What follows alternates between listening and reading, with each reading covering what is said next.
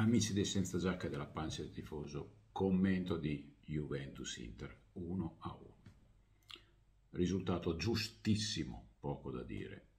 Una Juve meglio di quelle, una delle migliori Juve della stagione in relazione all'avversario che incontravamo. Un bel gol di Vlaovic, ce n'era bisogno soprattutto per lui, con l'assist di Chiesa.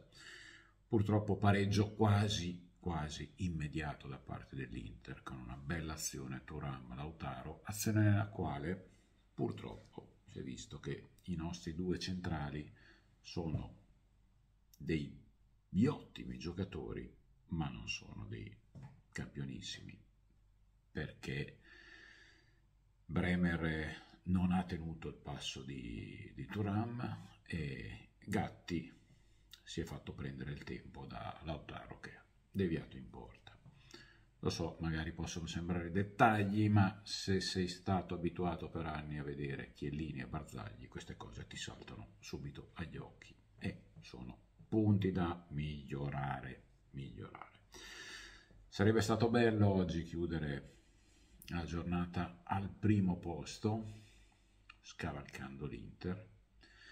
Una giornata, una domenica speciale, ricordiamo, nella quale nel motociclismo Bagnaia si è confermato campione del mondo e soprattutto l'Italia di tennis di Yannick Sinner è tornata a vincere la Davis dopo 47 anni.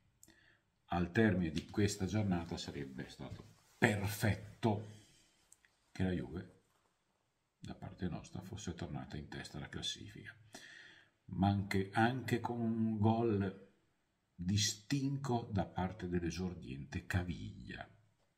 Sarebbe bastato questo.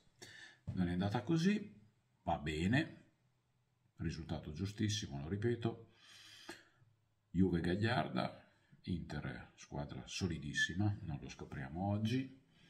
E siamo ancora a due punti dalla vetta, in corsa per lo scudetto e a nove punti dalla quarta. Quindi calma, che abbiamo tutto il campionato davanti per toglierci un sacco di soddisfazioni.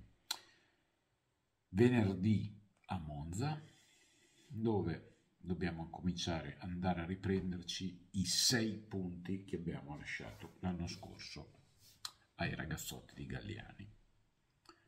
Forza Juve fino alla fine.